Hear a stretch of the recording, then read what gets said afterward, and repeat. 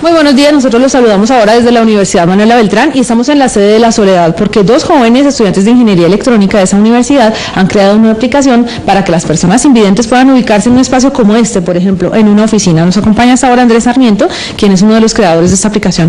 Andrés, muy buenos días y cuéntanos cómo funciona. Bueno, muy buenos días. Eh, bueno, la aplicación funciona para, es inspirada por las personas invidentes. Entonces, con el objetivo de encontrar objetos específicos en un entorno de oficina, objetos comunes, como por ejemplo carpeta, enciclopedia, libros, entonces, esta aplicación funcionalmente o es básica para encontrar, o está prediseñada para encontrar lo que es eh, los dos objetos específicos, lo que es carpeta y enciclopedia. En este caso, voy a poner ejemplo la aplicación. Ahí la, la aplicación lo que hace es hablarle a la persona invidente. Por comandos de voz.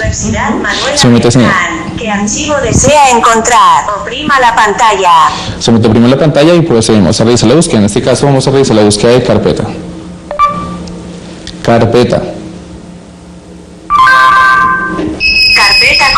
Y procedemos a realizar la búsqueda de la carpeta.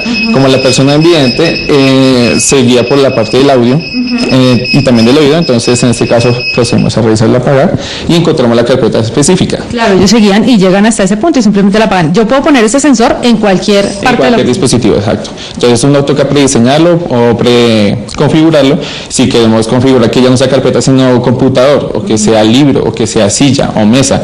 Entonces objetos comunes en entorno con el objetivo de poner la persona, o sea, la persona invidente, ser más independiente, tener más confianza en un entorno de oficina, en un entorno laboral. Pues Andrés, muchísimas gracias y vamos a hablar rápidamente con David Vargas, quien fue la otra persona que creó la aplicación. Eh, David, cuéntenos de dónde nació esta idea de crear la aplicación. Eh, buenos días. Eh, esta aplicación nació con el fin de brindarle a la persona con discapacidad visual un apoyo dentro de un entorno de oficina, ya que hemos visto que tiene algún algún tipo de problemas a la hora de encontrar objetos, ya que pues estos se movilizan y pues, Bueno, pues muchísimas gracias a David y Andrés, ellos son estudiantes de Ingeniería Electrónica y han creado esta aplicación que por ahora solamente funciona para equipos Android. Nosotros nos despedimos desde el centro de la ciudad, volvemos más adelante, muy buenos días.